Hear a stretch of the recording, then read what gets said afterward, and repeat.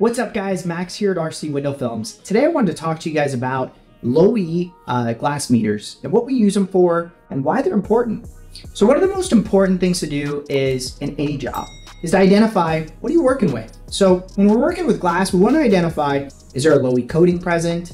Do we have uh, strengthened glass, strengthened being tempered or hardened glass? Do we have annealed glass? Do we have laminated glass where it has a plastic coating much like your windshield? And one of the tools that we use on a daily basis here at RC Window Films is the Glass-Chek Elite. Now this is manufactured by a company called EDTM. You can find a lot of their products online. Instead of just coming in and applying film, or the common question that we get is, hey, can I install window film on dual pane windows? Certainly. You just have to be able to identify where low E coating is present and what type of glass you currently have.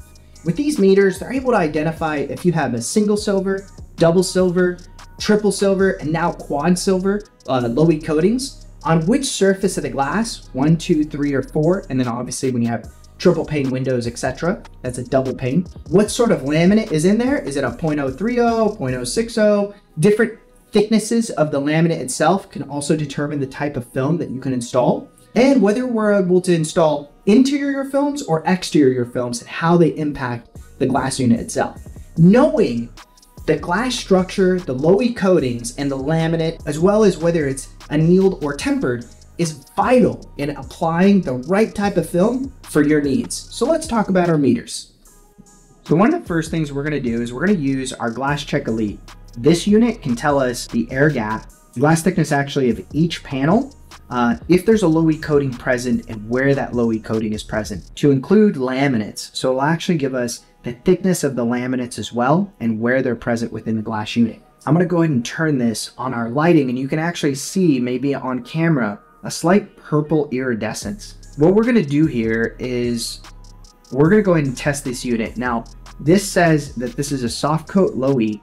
I'm gonna place it on the glass unit and it's gonna take a reading, bam. Now, one of the interesting things that this tells me is if you notice right here, let me go back up, right here, it is blinking. And that blinking tells me that's where the low E coating is present. G1 and G2 is indicative of the glass thickness of each one and a half inch air gap. So A right here stands for the air gap that's present. So a half inch air gap. So we've got 3 fourths glass, half inch air gap, eighth inch and eighth inch. So how you meter glass is also very important. The way that you want to take and use your meter is from the outside of the glass.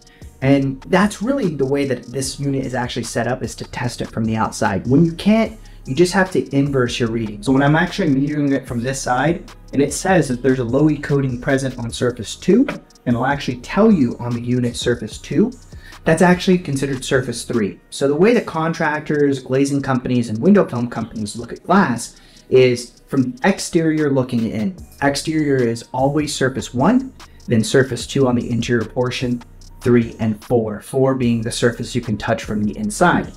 So once we identify that a low E coating is present, then we can determine through a film to glass checklist, which is usually provided by the manufacturers, where the film can be applied. And the reason for this is so some films have high absorption rates and Low E is essentially the same thing. Low E is a substrate's ability to absorb energy. So that glass unit gets very hot and it essentially holds the heat on that particular unit. Through expansion and contraction, you can actually cause a thermal fracture if you apply a film that absorbs too much heat as well on the same surface. So now you're going to overexpand if you apply film to the wrong side or a side that currently has a low E coating that's present. A lot of mumbo jumbo, but ultimately it comes down to this. It's important to identify one, where the low E coating is present, the thickness of the glass, whether there's a laminate or not. And one of the tools that we highly recommend that you get or use or make sure that your contractor is using is a low E Glass-Chek Elite. This unit is vital in identifying the type of glass that you have and making sure that you apply film to the correct side of the glass.